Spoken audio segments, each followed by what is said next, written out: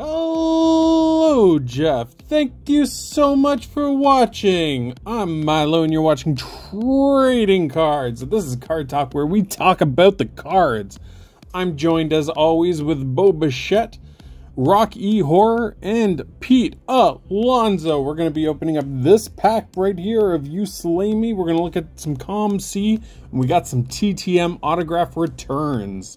Let's start this off with some of the autograph returns. We got this one. As you can see, it wasn't signed. It was a return to sender, Cameron Diaz. Uh, to be honest, I don't, I don't think she was going to sign these anyway. And then maybe my funniest return so far, uh, Honky Tonk Man. I did send him three cards to sign. Uh, two of him and one of Dinosaur's attacks. Uh, and I sent him uh, $20. And he said, LOL, I do not take Canada money. Honky tonk man, you sucker. The truth is, I like this more than your autograph. and he sent me my 20 bucks back. so Catherine just, Catherine, my partner, just told me a story.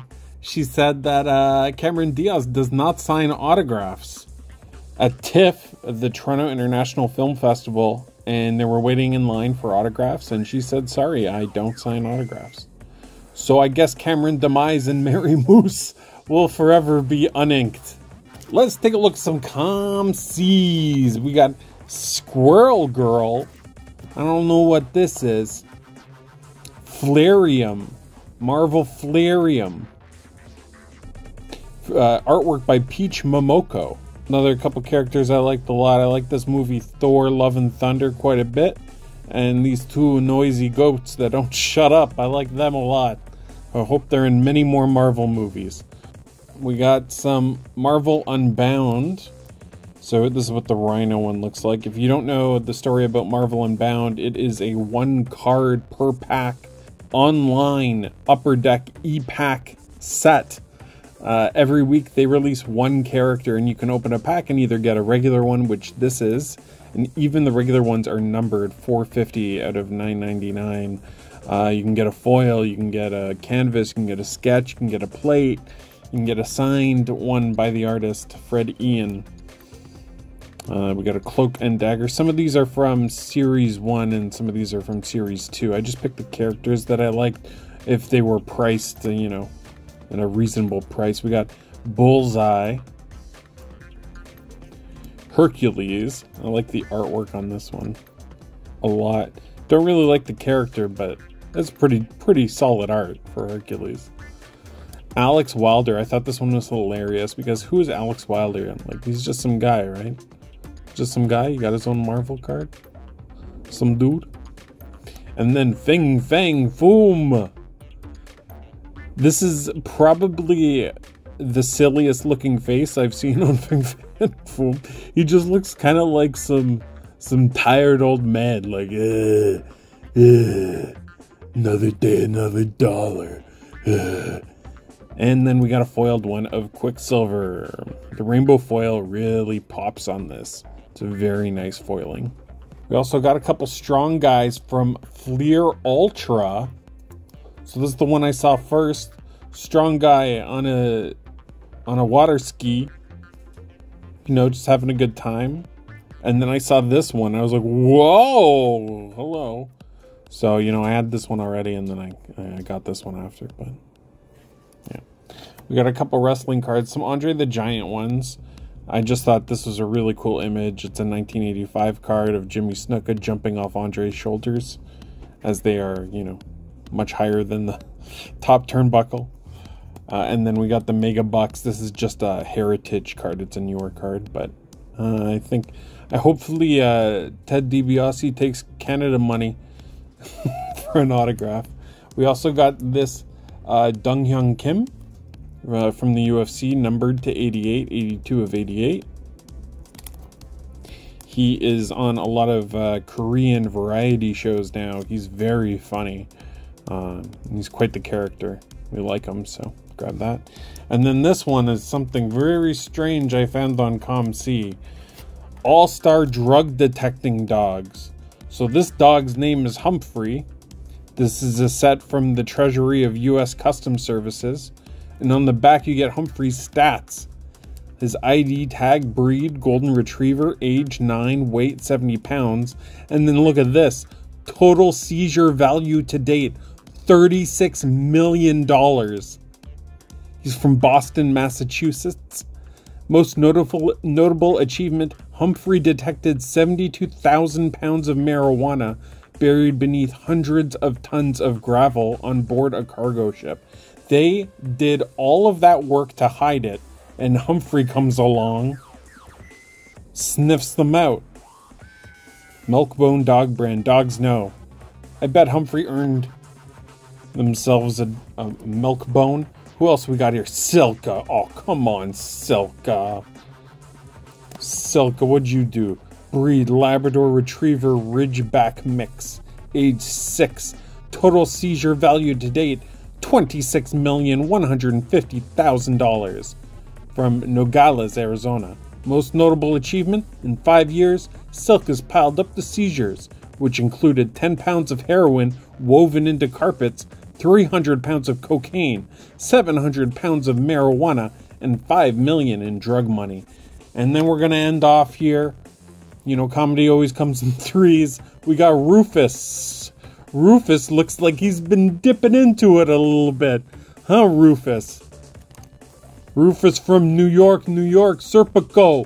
We got breed Springer Spaniel, age 10 and a half, oh, weight 55 pounds, total seizure value to date 81 million dollars. Most notable achievement while searching the refrigerator box of a large over the road cargo truck, Rufus detected 900 pounds of cocaine.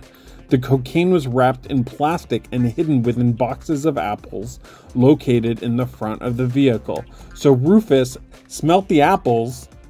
Mm, mm, mm, I want the apples. Went for the apples, and they're like, What's all this cocaine? Rufus just wanted apples. Narcs. All three of them narcs. And next up, I think we'll do the the trade. So I traded a bunch of cards to a friend of the channel, Mook.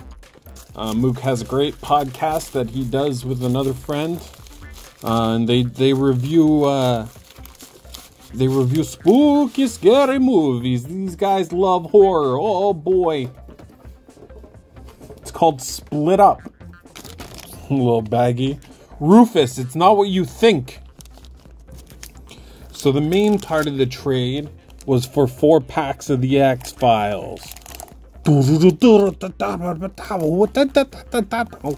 So X Files, this isn't the the game. This ain't the game. These are the real cards, the real stuff. Yeah, yeah. Ooh, we got a Sean Springs. That's my second Sean Springs. Now I can send to him to get an autograph. Thank you very much. And we got a Cavan Biggio rookie and a Bo Bichette rookie. I didn't have this one. This is his rookie debut card.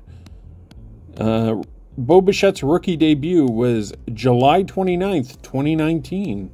Good to know. Great condition cards, too. Thank you very much, Mook.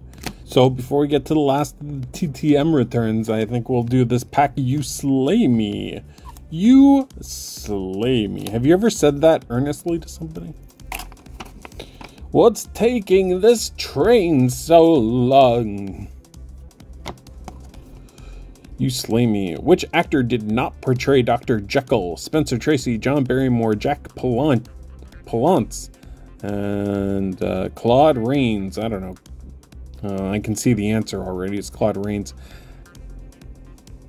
They expect us to believe this stuff?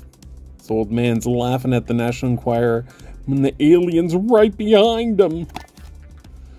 Christopher Reeve's successful time travel attempt back to 1912 in Somewhere in Time is horribly cut short by what item mistakenly left in his vest pocket? A present day penny. Mm, blood bank. Small, unmarked vials. Oh, he's robbing the blood bank. Instead of small unmarked bills, want small unmarked vials. Who directed Star Trek the Motion Picture? Dave. Robert Wise. Close. Close. That's the last time I use those generic chemicals. What? The generic ones are just as good as the brand. In Japan, he's known as Gojira. In America, he's known as Godzilla. One last card. Still think time travel is poppycock? Yep. This, uh, the 1933 version of The Invisible Man starred Claude Rains in the title role. And how many scenes did we actually see his face? None. Only one. That was my second guess. You know what? None of those slayed me. I gotta be gotta be real here. None of those none of those slayed me. Not a single one. Alright, we got some returns. First of which is somebody I know from a ride in at Canada's Wonderland called Days of Thunder, and that is Kyle Petty. Kyle Petty, Richard Richard Petty's son. Got a uh, in the in the ride on Canada's Wonderland. You know, he, he, he I mean, he was the mellow yellow guy, right? in the ride at Canada's Wonderland, he would be like it would be like a 4D ride, you know, where your chair moves and everything. And he'd be like, "You gotta do it." He'd be he was your pit captain, your pit crew guy, and you were Tom Cruise, obviously, uh, in your in your car. Anyway, there you go. Next up, next up, we got a hockey player, hockey guy uh, Mr. Brian Skrudland, who played with the Florida Panthers. It's a Stadium Club one. This was the reason I got the. I love this picture of him. Huh? Eh? Played with the Canadians. And he was assistant captain. Canadiens. That's his pro set. So I actually ask a lot of these people questions uh, when I send them the cards to sign, and most of the time nobody responds, but Brian Skrudland definitely did. And I asked him, uh, I wrote, I was wondering if you collected cards when you were a kid or even now. As a player depicted on trading cards, has your perspective on cards changed? And uh, he wrote, Yeah, I collected cards both then and now. And he, he wrote, The industry seems a bit oversaturated too many of the same cards.